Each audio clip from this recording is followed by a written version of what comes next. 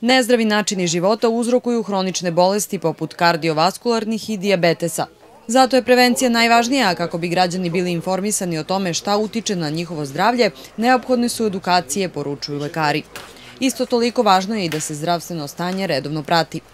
Opština Pantela i Dom zdravlja potpisali su protokol o saradnji sa Institutom za javno zdravlje u cilju, kako kažu, što bolje prevencije. Dom zdravlja Niš koji u toku samo jedne godine ima preko 120 preventivnih e, sastanaka, e, e, seminara, izlaska na teren jasno ukazuje koji mi značaj dajemo i da je u našom organizacionom delu, u našem sistemu rada Doma zdravlja prevencija na prvom mestu.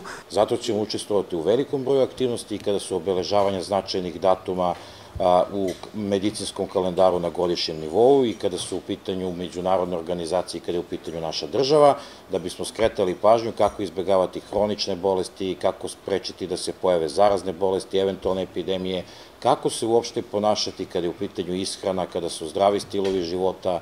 Zdravlje je najvrednije, a prevencija je jeftinija od lečenja, kažu u Institutu za javno zdravlje.